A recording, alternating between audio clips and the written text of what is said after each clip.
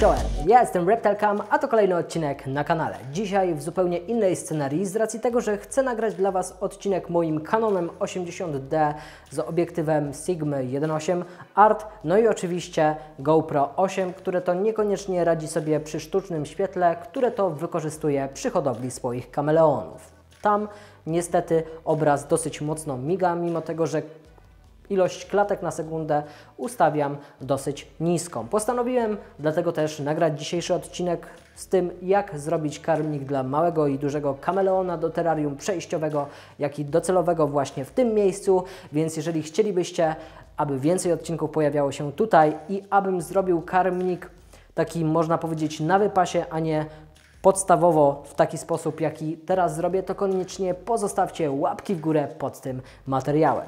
Do zrobienia karmników tak naprawdę posłuży mi m.in. klej na gorąco, który już się grzeje. Jest Niestety wygląda tak jak wygląda, ale to dlatego, że robiłem ostatnio nim ściankę do terrarium swojego gekona orzęsionego. Odcinek e, poprzedni, więc możecie sobie wbić i zobaczyć.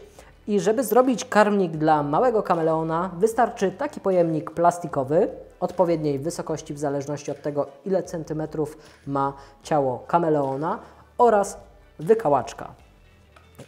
To jest pierwszy zestaw do zrobienia pojemnika, karmnika dla małego kameleona. Dla większego kameleona tutaj już posłuży mi buteleczka plastikowa. W tym przypadku jest to litrowa możecie użyć dwulitrowej, będzie lepsza. Oczywiście e, kawałek siatki, ja użyję plastikowej z kastoramy. Wy możecie użyć moskitiery, jeżeli macie, ale nie używajcie pod żadnym pozorem żadnej metalowej, ponieważ wtedy może kameleon w łatwy sposób niestety e, język sobie uszkodzić. Oczywiście także nożyczki, no i tak naprawdę także klej na gorąco. Zaczniemy jednak e, filmik od zrobienia karmnika do terrarium przejściowego. Mając pojemnik plastikowy odpowiedniej wysokości, musimy tak naprawdę teraz e, zrobić klejem na gorąco tutaj taką kropelkę, aby przykleić e, sobie wykałaczkę. I teraz tak, ja muszę sobie tutaj podziałać, więc przepraszam, bo chyba o, mój klej się zepsuł, więc już jest tutaj trochę nałożonego go. Jak widzicie, mamy klej i teraz do tego miejsca końcówką, którą to uciąłem, bo jest bardziej ostra, przytrzymuję ją na jakiś czas. Mogę też podmuchać.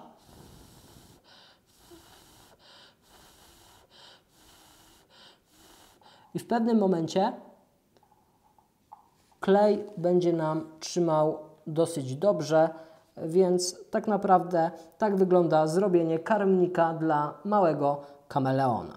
Chwilę sobie poczekacie z racji tego, że musi po prostu ten klej wyschnąć, ale e, wykałaczka musi stać pionowo, dzięki czemu owady będą po niej wchodziły, a kameleon w łatwy sposób będzie mógł na tego owada zapolować. To rozwiązanie jest fajne przy małych kameleonach, które to wkładamy do większego trochę terrarium, a nawet do terrarium przejściowego, żeby nam się te owady nie rozeszły. Trochę sobie poczekacie zanim to wyschnie, wykałaczka musi stać pionowo, żeby owady po niej sobie weszły. Uwierzcie mi, ale małe świerszcze chętnie po niej wchodzą, kiedy to cały pojemnik jest śliski.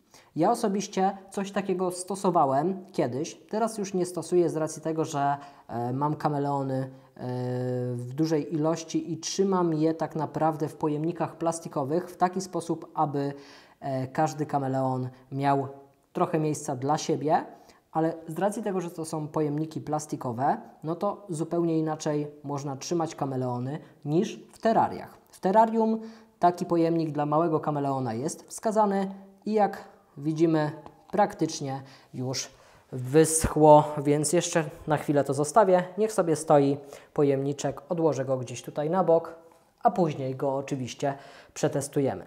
Drugi karmnik, który sobie zrobimy, to karmnik dla większych kameleonów. Tutaj już musimy odpowiednio wyciąć przód w taki sposób, aby móc włożyć tą siatkę. Więc najpierw wycinam przód, Powiem Wam, że nawet lepiej, e, że tutaj z tą buteleczką spartoliłem, ponieważ mam tutaj kolejną, bardziej e, nadającą się do tego, aby zrobić taki właśnie pojemnik, karmnik dla kameleona. Zobaczcie sobie sami, jest to akurat żywiec zdrój, e, nie ma tutaj żadnej reklamy, spokojnie. Butelka jeszcze jest trochę mokra, bo wylałem resztkę picia z niej. Ale wygląda tak i myślę, że naprawdę fajnie będzie się sprawdzała, jeżeli chodzi o karmnik dla kameleona. Możecie tak naprawdę używać go e, do e, świerszczy, które to rzadziej będą Wam wyskakiwały niż normalnie e, z jakiegoś takiego pojemnika tego typu. Mowa tutaj o większych świerszczach. Możecie do szarańczy to używać, możecie używać także do karaczanów.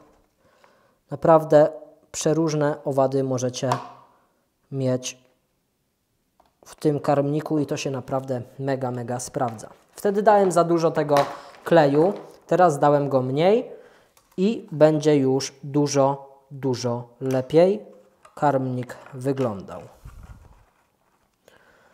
Ok, tutaj sobie przyklejamy. Zobaczcie. No i voilà. Karmnik dla kameleona dorosłego, czy tam nawet większego, jak i do, dla małego jest zrobiony. Teraz wezmę sobie kilka owadów, żeby Wam pokazać, że faktycznie miałem rację i faktycznie po małym karmniku będą sobie wchodziły e, owady tak naprawdę po, tej, e, po tym naszym patyczku. Z kolei tutaj, że będą fajnie się trzymały tego. To, jak Wy zamontujecie taki karmnik u siebie w terrarium, zależy od Was. Ja nie będę Wam tego pokazywał, proponował. Zróbcie to po swojemu. Pamiętajcie, że karmniki nie ma sensu dawać w miejsce, gdzie jest żarówka grzewcza, bo po prostu owady się Wam przegrzeją i szybko padną.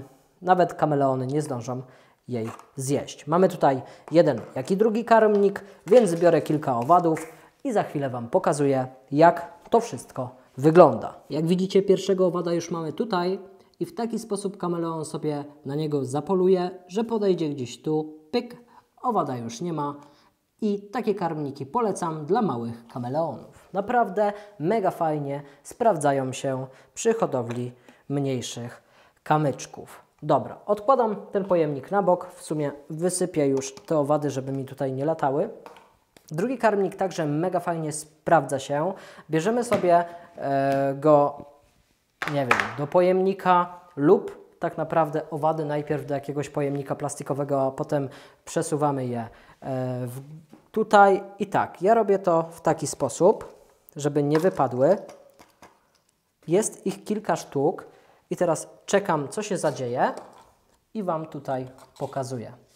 Owady na razie są na samym dole ale w pewnym momencie już sobie chodzą po siatce. I dzięki temu właśnie, że chodzą sobie po siatce, kameleon może w łatwy sposób takiego owada sobie złapać. Widzi go, jeżeli e, w dobrym miejscu zamontujecie e, taki karmnik, a ponadto one Wam nie wyskakują. Rzadko co, kiedy wyskoczy taki owad z terrarium, z tego karmnika, ale to tak naprawdę zmniejsza Wam nawet o 3 czwarte ilość owadów, które to latać będzie Wam po terrarium.